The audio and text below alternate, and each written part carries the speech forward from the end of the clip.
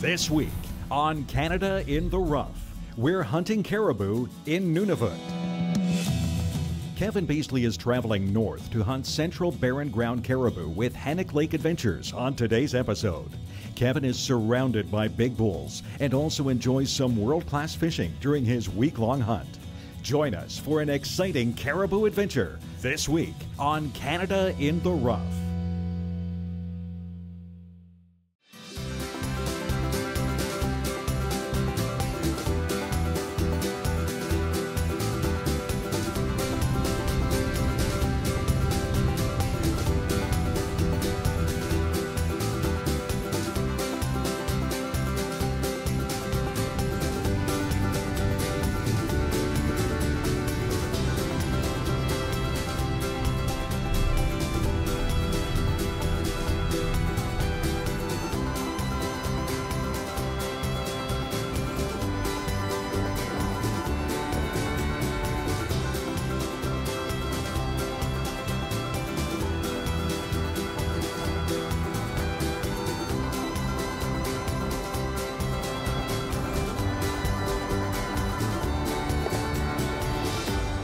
Well, we just arrived into the beautiful territory of Nunavut. After a couple short flights, we arrived here at Hennik Lake Adventures and we're gonna be going after central barren ground caribou.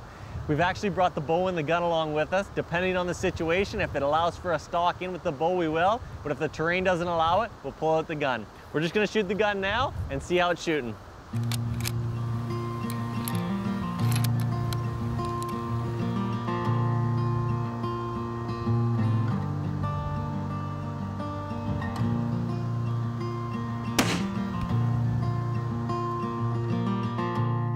Kevin will be hunting central barren ground caribou from the Great Qamanirjuaq herd, which resides primarily in Manitoba and Nunavut, with portions in southeastern Northwest Territories and northeastern Saskatchewan. Caribou are migratory animals and can travel in herds of several thousand strong and often cover 4,000 kilometers in a single year.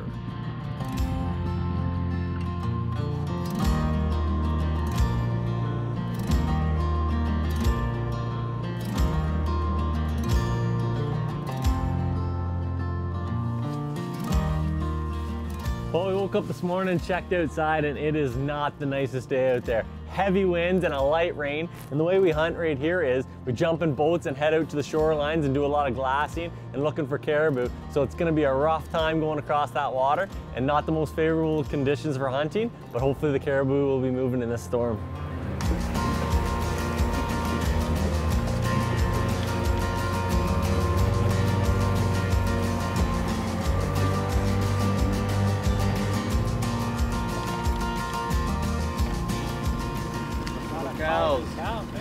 Cows and calves. That whole shoreline all the way over to here. Just scattered with them.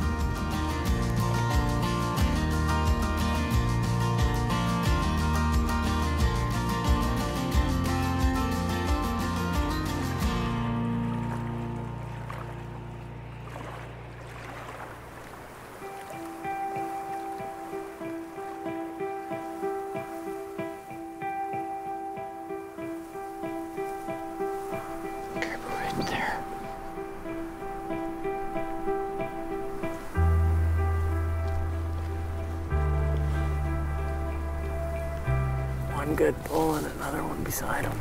Got real nice bezes and shovel. Beautiful beds and shovel, eh? Yeah. These tops are not much at all. These guys are right there. Right, right on top of this. Here, can we pull over this ridge on this side?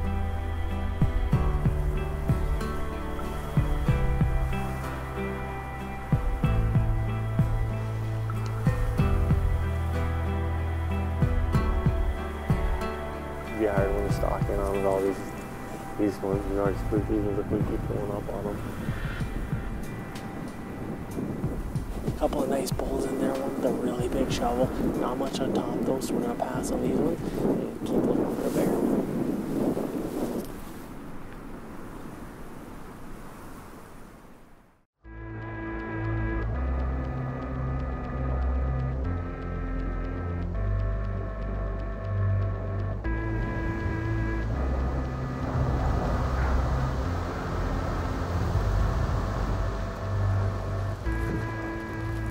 Well, we're just getting ready to head out for our morning hunt, and we're not getting the most favorable conditions on this trip. We're getting a lot of fog, a lot of mist, and uh, cooler weather. But we're just getting ready to head out with Jason, and we're hoping we'll find some bulls this morning.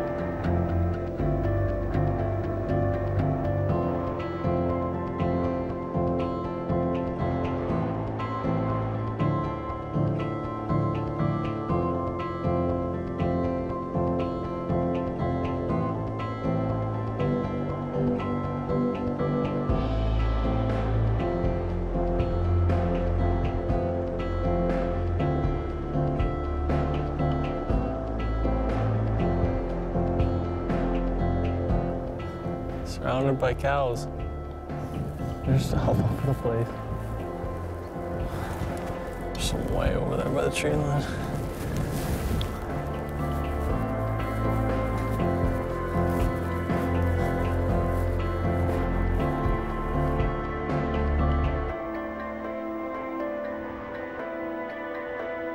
There's a big one on the right up here. There's actually two, but the big one with the big mane is over here. There's another big one bedded here. And there's a big one over here, over here by the. Oh, he's by the. One's by the tree line over there. All right, Jason, you ready to move? Yeah. Okay. We're just gonna work our way over this this ridge here and get on the back side and work our way into them. The wind's blowing this way, so we're gonna try to get downwind and uh, hopefully we'll be able to get into range. Eh? Yeah, try and get him again.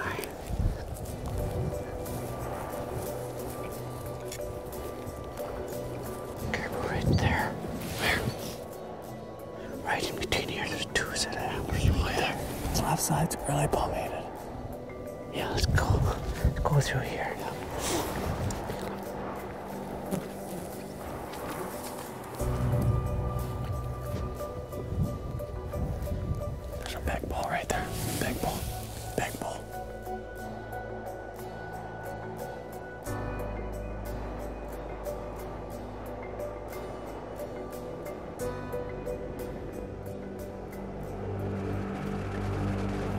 Happened? Something spooked them. There was a couple cows and calves down there, and they just spooked those four bulls. They went running this way, so we're gonna quickly work our way around here and hopefully get within range.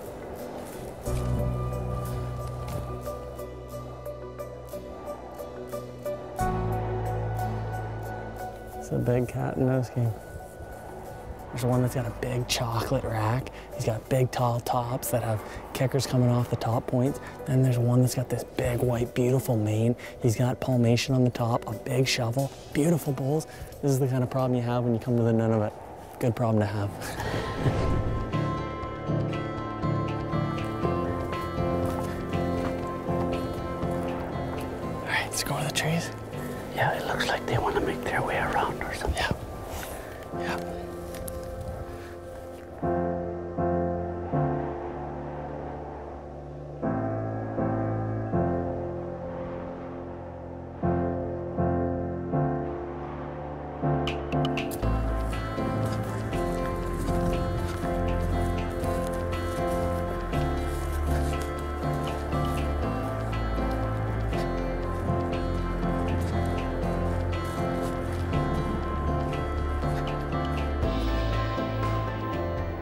everywhere,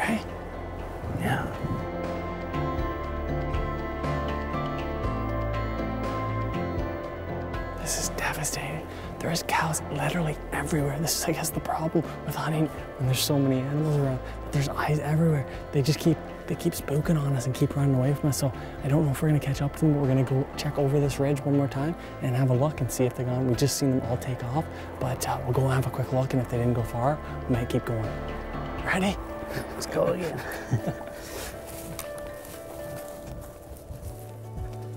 Future attempts at stalking the herd proved futile for Kevin and Jason, so they headed back to camp at the end of the day to enjoy a warm cooked meal and swap hunting stories with the rest of the hunters in camp.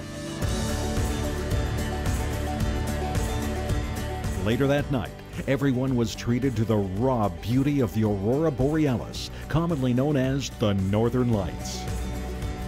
The following morning, Kevin couldn't resist getting his rod out to explore some of the renowned remote Nunavut lakes, and they didn't disappoint. Kevin and Jason landed some monster northern pike and even some beautiful lake trout. Nice pike. Beautiful fish right there.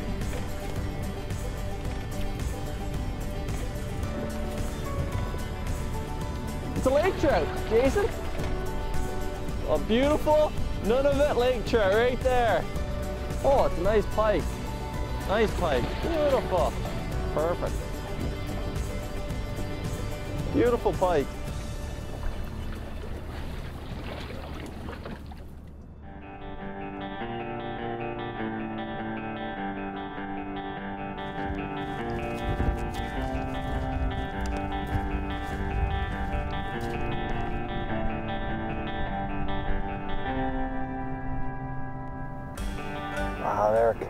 Everywhere. Three nice bulls right in front of us. Another big herd over there. And there are a bunch up there on that mountainside. They're scattered everywhere.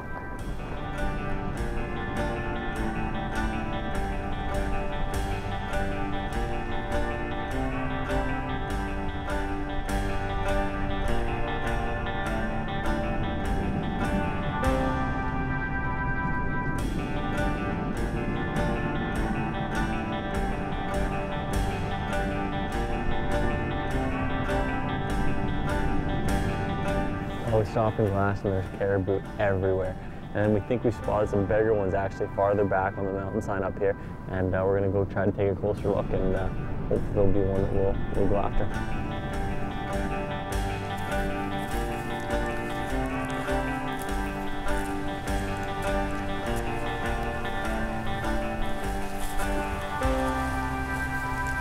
They're right just above that dip. So they should be within range if we can get to that dip. eh? Yeah. Okay, well that's cool. It's, it's, it's a nicer walk and the wind's blowing right in our face, so it's perfect wind. Cut this way here and then cut across. Perfect.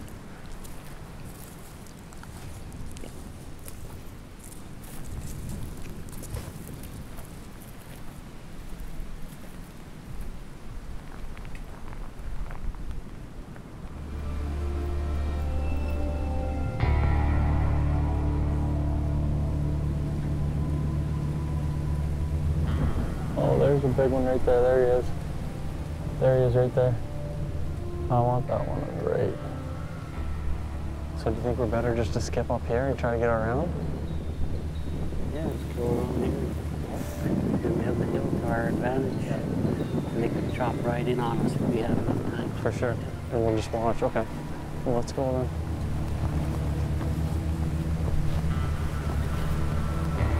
We just watched them cross and go around this hill. So we're gonna sneak back on the bottom side. We're almost there. So we're gonna just creep up to this top of this ridge right here, have a peek over and see where they are.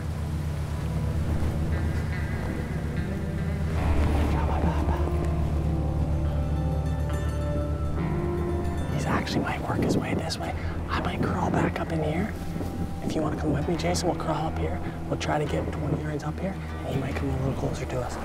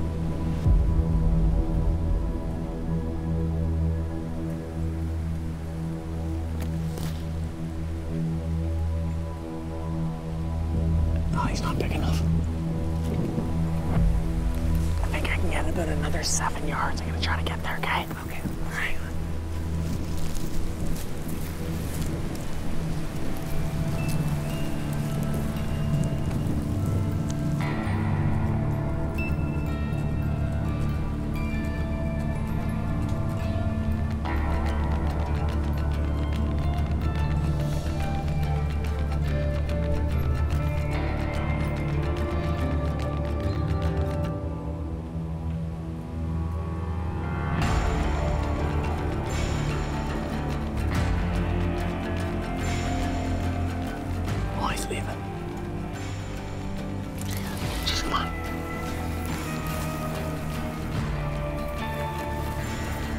Let me see the gun. This might be my only chance.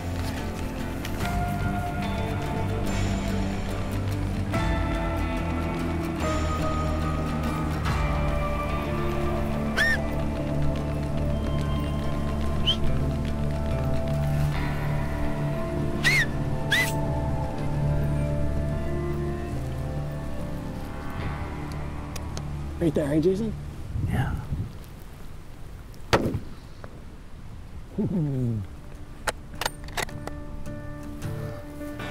Jason, holy jumpers, buddy. Did we ever just put on a stalk? Oh my gosh. Congratulations. Oh my goodness. We just came probably five miles off the lake. we spotted them from a ways off, knew it was the one that we wanted, and we just came up and put a stalk on him. He didn't get within bow range, but with this weather and these conditions, you don't have many opportunities Yeah, to get within all the- range, right? As well as the cows and the calves, Yeah, all the eyes. that's right. So we tried, we tried it. We we tried to make it happen with the bow, but it wasn't able to. But we got a big bull down right there, Jason. Thank you so much, buddy. I really appreciate that. That is a beautiful bull, and let's go get our hands on him. Yeah.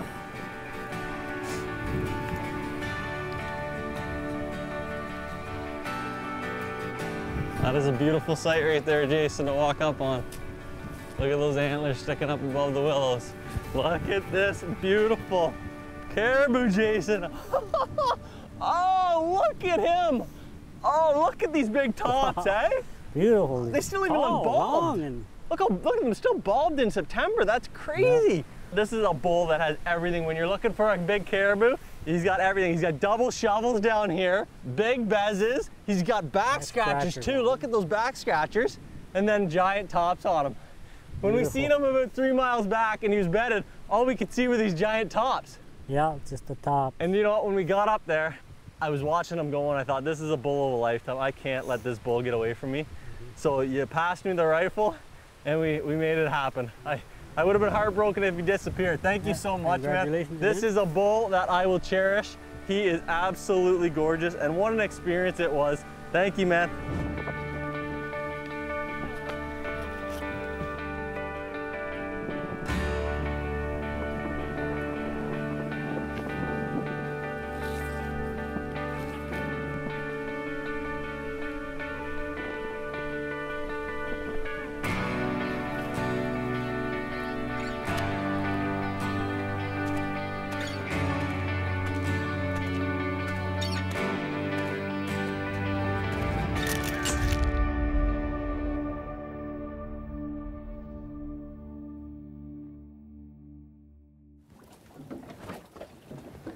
Well, we decided to come out for a quick fish before we fly out. And what a great time we've had up here at Hennik Lake Adventures. They sure are a great outfit, and I will definitely be looking to come back here another time.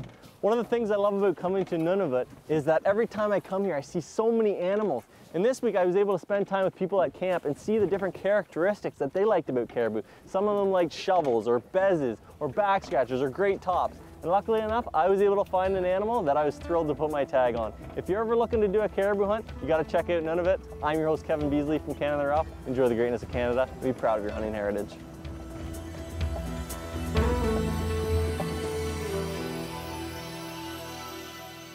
Hey folks, hope you enjoyed this video. For more great videos and content, please subscribe to our page and let us know in the comments what you'd like to see. And to follow our amazing adventures around Canada, please join us on Facebook and Instagram.